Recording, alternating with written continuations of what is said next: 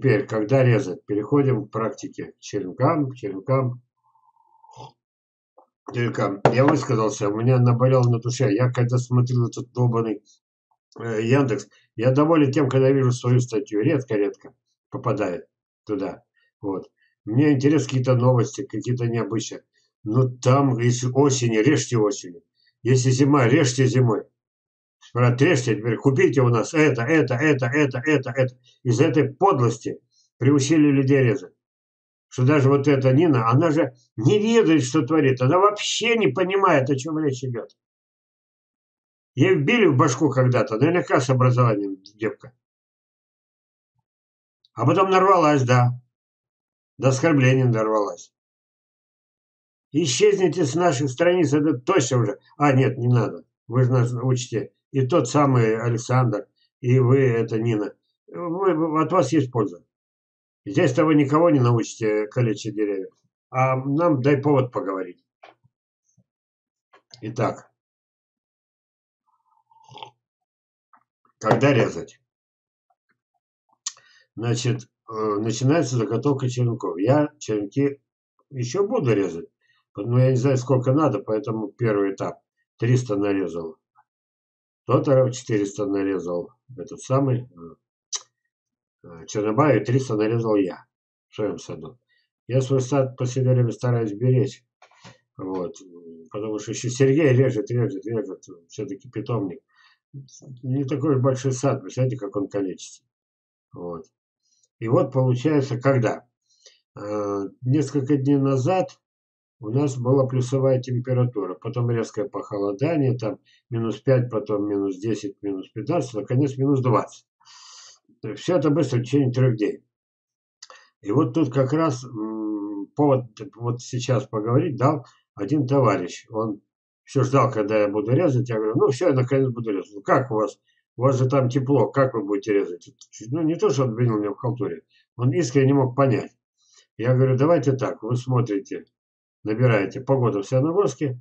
Вот, сейчас э, э, все это на, на, на лицо и посмотрим.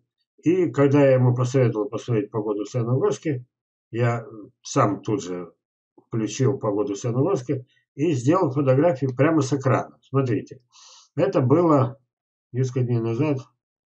А что ты знаешь, где тут даты? даты? А, завтра 5, значит 4 ноября это было. 4 дня назад. Вот. И вот тут самый интересный момент – это учеба, друзья. Это не просто ля-ля. Значит, итак, минус 19, деревья спят, все спит, снежок лежит. Вот такой, но лежит. У нас это и то это редко бывает, что, что в это время в ноябре снег. И я режу. И вот он мне звонит снова. Валерий Константинович, а вот посмотрите, видите, через два дня, через три будет плюс. Вот он плюс обещает. 4, 2, 1, 3, и даже 6. О, 9 э, ноября даже плюс 6. А вы, говорит, наверное, рановато вы все-таки режете. Может быть, надо было еще пережить плюсовую температуру, а потом снова минус. И тогда только резать. Попался нормальный мужик, который соображает. Вот. Вопрос теперь, что делать? Э, прав я, что нарезал при минус 19, там 15, 20, вот такой перемежек или не дожидаясь оттепели, а потом снова зимы. я тогда подумал, у меня такие случаи были. Я уверен, что то, что я нарезал при минус 15-20, спящие саженцы, потом куда их деваю? Я их держу при температуре плюс 2-3. Заметьте, при положительной температуре. Поэтому не так страшен черт, что вот здесь вот, э, допустим, э, они бы оттаяли бы сами. Так я их э, на морозе это, потом в тепло плюс 2-3 до, до, до этого момента, и вот они плюс 2-3. А тут получается, извините, и 4, и 6. А дальше еще не знаю. А если они потом проснутся, а такое бывает, это все-таки южные растения у меня в большинстве своем, а почки набухнут, а потом морозом прибьет, и так бывало – И потом они вообще будут неполноценные. А мне впереди тысячу штук надо вырезать. И вот когда наступило минус 19, я дал отмашку, сказал, Володя, режь.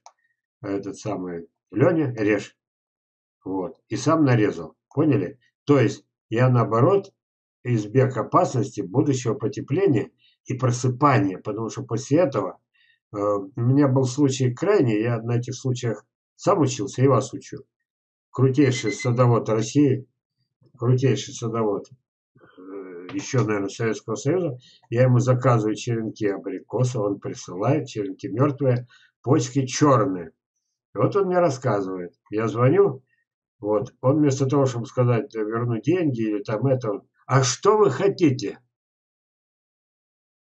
Октябрь плюс, ноябрь плюс, декабрь плюс, в январе трава зеленая, потом сразу минус 20. Вот и все. Минус 20 хватило, чтобы убить почки. И ростовые. Ну, может, он еще не знал, когда высылал, что они мертвые. Вот. Ну, поняли, да? То есть вообще нарезать было невозможно. А пропустить целый год, я даже без этих самых 50 тысяч останусь, которые получил по морде. Вот. Даже без них останусь. А, извините.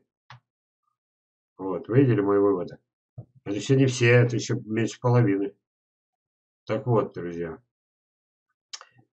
Я, надеюсь, вас убедил, что я улучшил момент и без всякой халтуры заготовил тысячу черенков. Точка.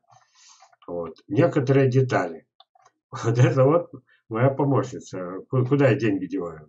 На себя трачу, на коньяк, на, на, эти, на санаторий. Вот это одна из моих помощниц. Вы Тимоша моего, наверное, вы, вся страна знает Тимофея моего. Это его мама. Так, вот. Она бы так бы наращивала бы ногти, наращивала бы ресницы. И жила бы пожила, но этот доход от магазина, где она продавщица, ноль. И этот ноль уже два месяца. И я тогда беру, говорю, ну-ка, ну-ка, доченька, одевай-ка валенки. Она одевает валенки, и пошли мы совершать преступление. Вот тут-то, друзья мои, я как раз-то преступник. Вот тут прав. Правильно меня по морде. Вот. Только я возмущался этой Ниной, что научила, и сам тут закалечил. Но это калечение ради жизни. Видите? Кстати, знаете, что это за яблоко? Это, это розмарин. Вот. Это не рекламная фотография. У меня на многих деревьях еще висят. Собрать так и не успел. Вот. А они не пропадут. Они сгниют и опять вернутся в дерево. Вот когда я фотографию делал? Пятого, сегодня восьмое. Два дня назад мы заготавливали черенки. Обратите внимание, у него в руках краска масляная, очень густая. Масляная краска. Значит, она сейчас отрежет и замажет. Вот. Лучшего на зиму, на мороз я ничего придумать не мог. Вот эта фотография учебная. Я говорю, позирую.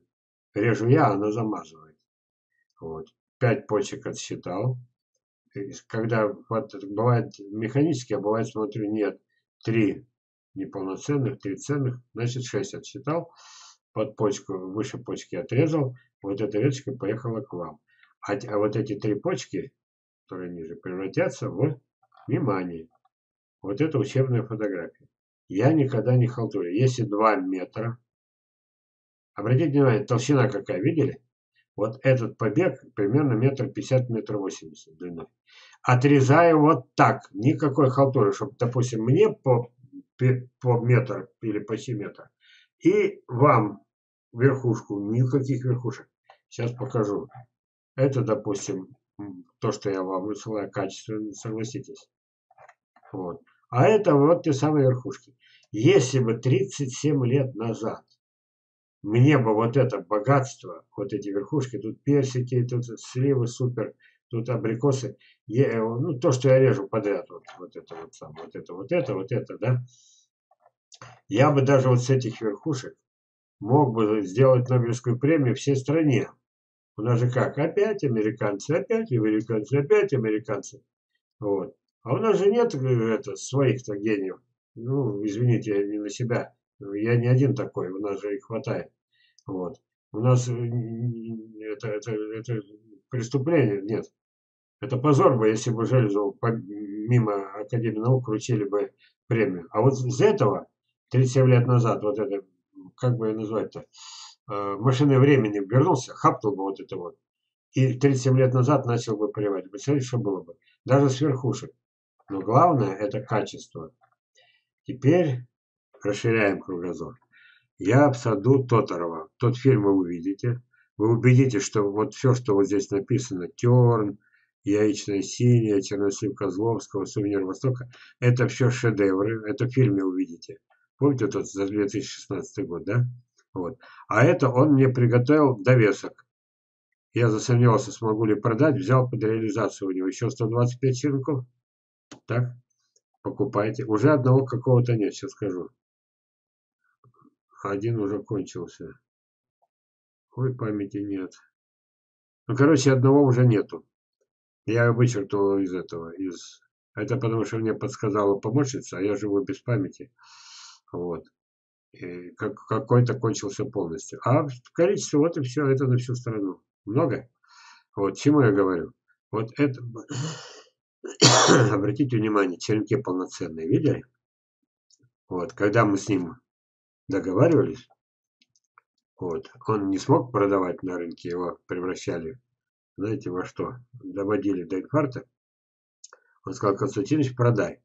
Я приехал и говорю то же самое. Володе Тоторову, Владимиру Александровичу. Вот так я ему и говорю. Вот, вот так растопырил руку, говорю, вот столько оставляешь, остальное все срезаешь. Вот. Вот он так и сделал. Теперь вот эта часть делится пополам. Вот это примерно 45-50 сантиметров вам уедет. Верхушки будут выброшены вот таким вот образом. Вот, без всякой пощады. Хотя они ценность тоже могут представлять по принципу на безрыбье и рак рыба. Вот это мы разобрались с вами, с Володей. Вот-вот, все равно они теперь, я уже знаю, кончатся. Фильм сработал э, с ним. Вот. И маленькое уточнение, друзья. Ну, а куда деваться? Людям понравилось название терн вишневый или вишня терновая. Вот.